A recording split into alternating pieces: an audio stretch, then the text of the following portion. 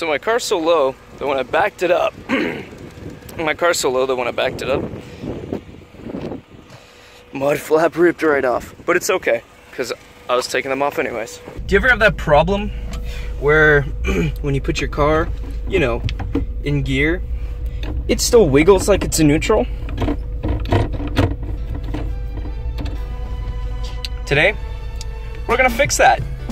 So first thing we're gonna do is, car's kind of low. So in the back, I got these wooden kind of ramps. Uh, my dad kind of just crushed one of them uh, a little bit, but you know what? She gonna be okay. She gonna be okay. So let's get these things under the car.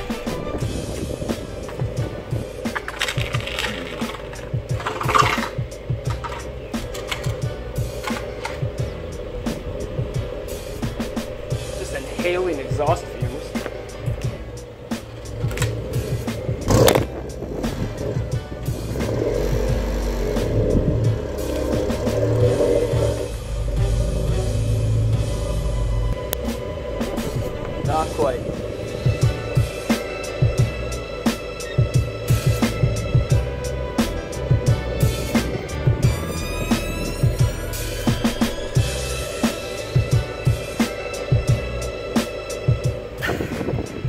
It's not quite perfect, but it'll do.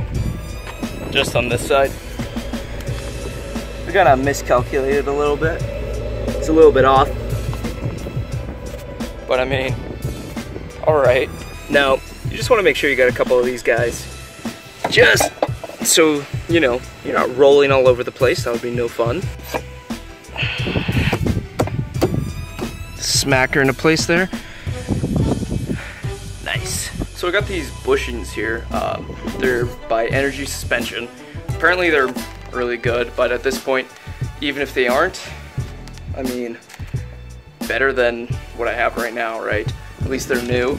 Uh, what we gotta do next is we have to jack the car up because currently can't really get underneath the car without uh, you know, without ease. So we're gonna have to jack the car up, put some jack stands under there, and uh, hopefully with a little bit extra leverage in the back, shouldn't have a problem, you know, getting to what I need to get to.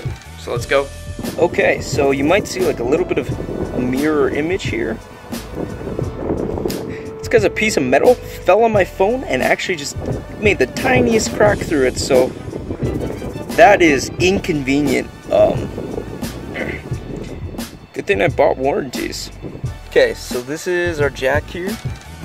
Had this jack for, I don't know, 20 something years. And we have to jack the car up, so let's get to that.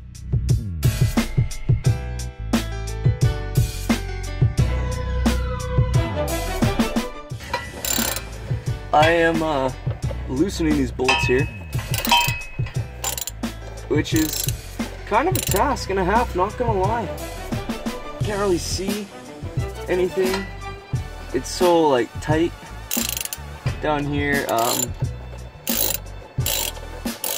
I got like three extensions here. I should just be able to unscrew that by hand.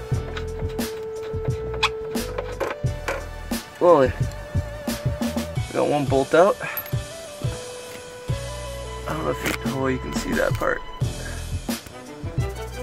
Not very. Okay, so one's out. Now we gotta get the other one out, which is gonna be a bit more of a task. Okay, I cracked it. It's cracked. Good. I have like two inches of torque room here. Uh, this is pretty haggard, not gonna lie. But I didn't want to take my whole exhaust off, so. Over here, maybe you can see this side better. Yeah, I didn't want to take my whole exhaust off, so. Instead,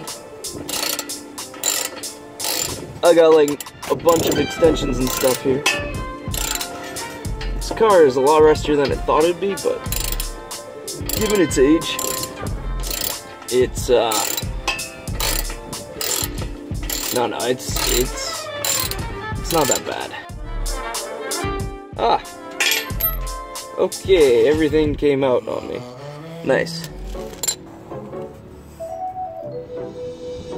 Yeah, so all this just fell right down. Right on top of the exhaust. Oh, okay, that's cool. All right, so this is pretty important here. Um, I got the old one off, but there are little metal rings in there. You actually need those because you have to put them in into this this bushing. So I'm gonna get those out real quick. Oh yeah, just a nice pair of needle nose does the trick. Now you just wanna insert those into the new bushing. And these are gonna be how you put the bushing, or screw the bushing back into the car. Just like so. Now I watched a few videos on how to do this, um, and a lot of them struggled with getting the shifter linkage actually back through this hole. So we're gonna use our friend WD-40 here, and hopefully that will help persuade her to get back into place.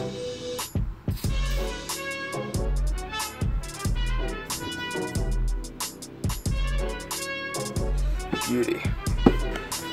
This is what I'm talking about when people say they have trouble, okay? Or when I say that people have trouble. Is this thing is like split. Which is kind of a bitch, which is why we have WD-40. And yeah, I'm real close to the car. Because, well, needless to say, this car's low. And, you know, even with the car jacked up completely in the front, and the stands in the back there, it's just a pain in the ass to get under here. It's still it's still low, you know, like no matter what. Uh, let's put this thing back on. This is a good angle for you, I don't know. Maybe there. Yeah, you can kind of see that there. Always good fun. Oh god, that's a terrible noise.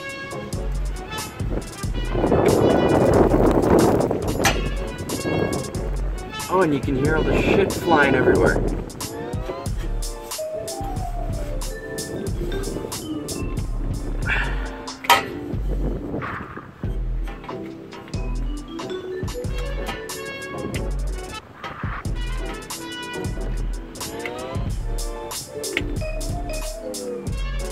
Come on, polyurethane.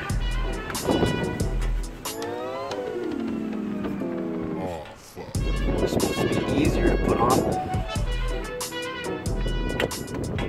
Should have brought the WD-40 with me.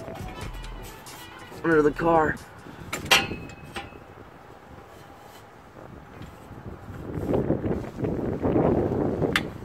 Oh. Okay. There we go, we're back on. Nice. Second bolt's going in. So we got one bushing done. Next up is this guy.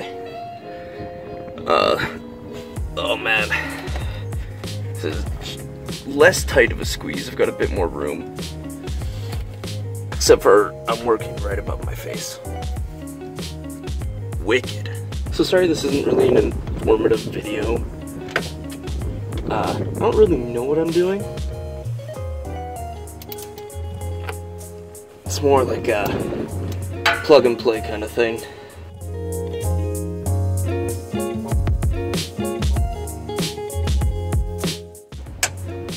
Oh, for fuck's sakes. You just broke the wrench, honestly. Oh yeah, it's like rust welded in there. A cloth and see if we can clean that up.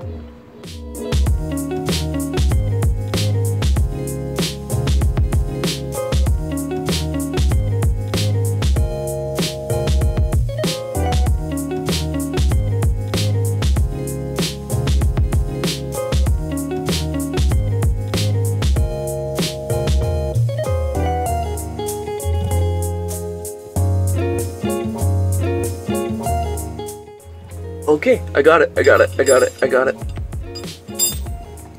Nice. All right.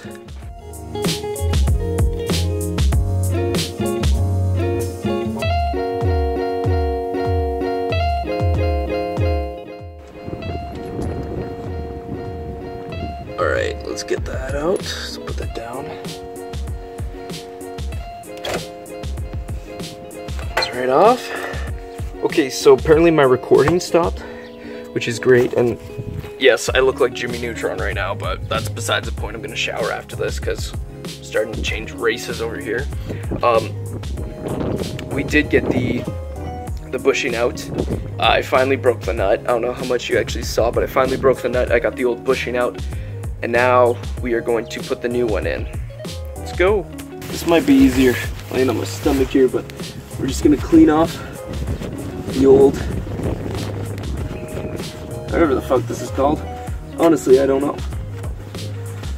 I'm not a professional. I'm just a guy with a car and a couple tools and a YouTube channel. I know this isn't really a cleaner, but apparently that's how we're using it nowadays.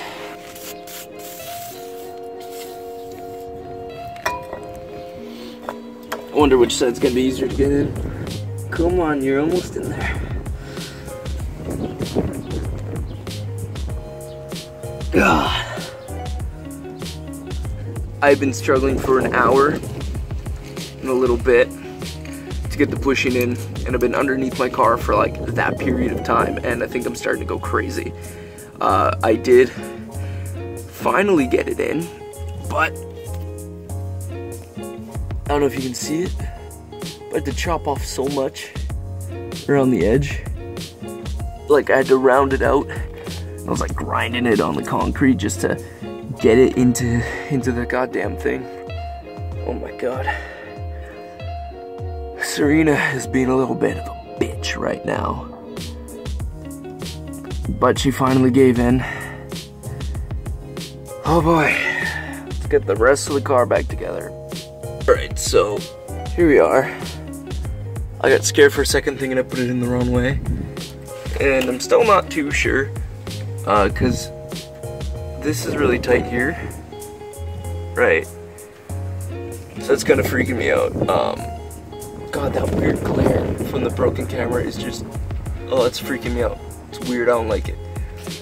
But, uh, no, it seems to be okay. Let's, let's go test it out. That is a lot tighter. Not gonna lie. It's a lot tighter, but still kind of wobbles. So I don't know, maybe this brand wasn't the best, but this is what Speed Factor just kind of defaulted to when I said I needed bushings. So this is what I got. And you know? It's a bit tighter. It works. It's I feel like uh, performance-wise, shiftings are gonna be, or my shifting's gonna be a little bit better. You know, a bit tighter. Um, Serena is the first car I learned stick on, so that's cool. I've had her since the beginning. And uh, yeah, I think that's gonna do it for today's video. Um, obviously, I didn't show you absolutely every little thing, and sorry it's not as informative as you know you might have liked to have might have liked it to have been. Um, I'm not a professional. This isn't a how-to. This is just me doing it. Um, is it the proper 100% professional way? Probably not. But at the end of the day, you know, it works. Uh, and it's always good to replace parts, even if, you know, you, you just end up with the same thing anyways.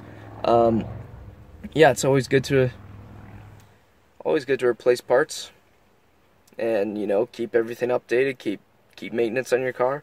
And that's what I'm to do. And I'm to build up Serena and keep her going, even if she's at that many goddamn kilometers. Which is crazy. But that's all I got for today, guys. Peace out. I'll see you next time.